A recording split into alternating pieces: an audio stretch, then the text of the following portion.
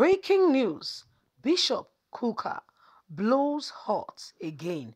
See what he said about Buhari that has sparked up reactions as Nigerians begin to throw their different opinion. Of course, Bishop Kukah is somebody who will not be silenced in the face of oppression and um, injustice going on in the nation.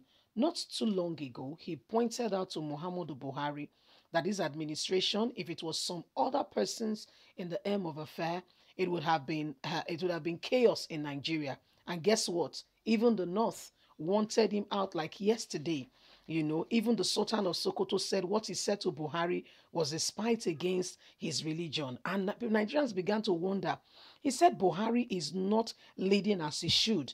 And if it's any other person from any other region or religion, in fact, it would have broken into a civil war. Yet, some people took it very personal.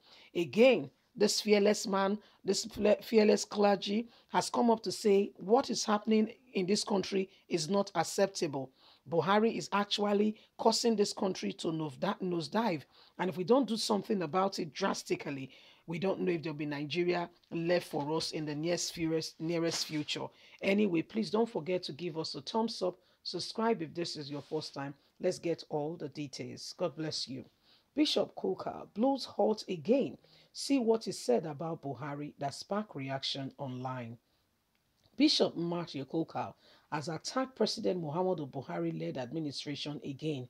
Kukah had earlier released a statement in December 2020 accusing President Muhammadu Buhari of promoting the Fulani's agenda. He said the military would have taken over if the president is a non-Muslim or a Southerner.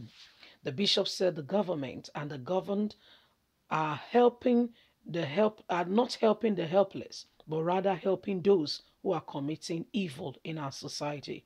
Kukah said Nigeria has become a massive killing field. He lambasted the president for failing to defend the nation and her people. You promised to give them the best. You promised to protect lives and property. This is the very fundamental of a leader in the position of president. But yet, that is where you have failed. You came with, the, with deceitful promises. Now you have brought insurgency to take over Nigeria. Before you took over in 2015, things were a lot much better. Bishop Kukah also speaks on kidnapping, banditry, and other security challenges facing the country. He said the government has failed in the primary responsibility Kukah said, why should rehabilitating and perpetrators be more important than the people who are victims? The statement has generated different reaction among Nigerians. Nigerian government will rather negotiate and take care of those who perpetrate evil atrocities and even considering giving them amnesty rather than the people who they have raped, killed, who they have deprived of life taking over their farmlands, their families, and made to become refugees. These are the people who are victims, and the government of Nigeria have nothing to protect and to console this one. It is rather very unfortunate that Buhari's government fraternize and discuss with those who are the very architects of evil going on in Nigeria. While somebody like Gamil, who is a northern Muslim and a clergy, be the one to negotiate and go to the bandits. They are aware. He knows who these bandits are who are killing people. So is it okay for Nigerians to be killed with no cause of, of, of justice being done? Yet you discuss with him, bring him to your office and have a chat with him and give him everything he wants and we say we are one Nigeria. I mean, I mean the, this bishop is one person who says it as it is. And you can hear from his turn that he's not He's not afraid of anybody. He says it as it is. He, give, he gives it square on. And honestly, seriously speaking, he has said it all. There is nothing left. He just said it all. This is a man who came in 2015 promising Nigerians heaven on earth. Oh, you need to hear the promises. It was so motivating and catching that even when he won in 2015, Nigerians went out to celebrate. They jumped out and said, Indeed, the Messiah has come. Now we can have freedom. Now we can have our children go to school. Because at that time, he promised that um, even graduates, young graduates who just finished from university, will be given uh, bursaries, will be given some forms of stipends and, assist, and assisted until they pick up jobs. He promised to create 1 million job per annum, per annum so that at least that will begin to that will accommodate for graduates that are being you know that are coming out of university and to make give nigeria that opportunity for growth. Guess what? This man is a failure from the start his government came, I mean, they had all the right people, seemingly seems, in quote and unquote. They were also magnified, sat together, and you could see them, both the ones who call themselves religious and, uh, you know, religious leaders and the rest who came into government. And that gave Nigerians some form of assurance, you know, and uh, some form of, uh, you know, you know, association to say, okay,